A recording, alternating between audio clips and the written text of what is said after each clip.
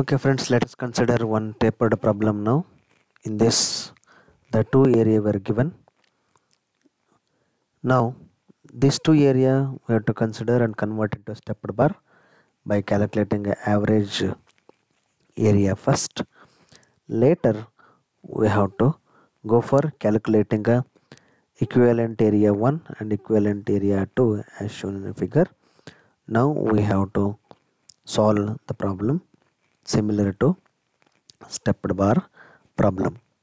So now consider a structural analysis, then geometry, SpaceClaim it is going to open now. Okay, so now we have to solve, draw two areas that is 187.5 mm another one is also 187.5 mm look at here. Take a line. Then choose the grid from this. 187.5 enter. Another one is also 87 187.5 enter.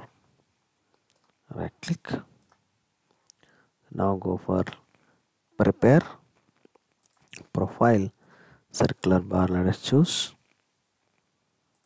Here one more way to take circular bar. The first one we have to give the radius is equal to 16.68 mm. This one 16.68 mm close this then come to second one. This is 14.1 mm. 14.1 mm enter close this bar. Once this is done. Assign these line to first one then second line to second one here you have to choose design share topology you have to select. Next go for model.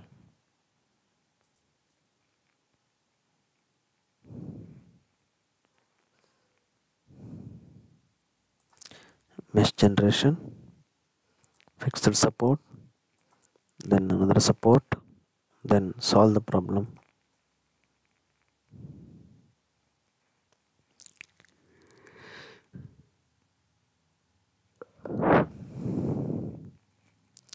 when this is done insert deformation. Another one is beam tool. Right click insert beam tool. Now go for evaluate result. This is done. Now you can observe the deformation here. Then this will be the direct stress. Through probe you can go for display.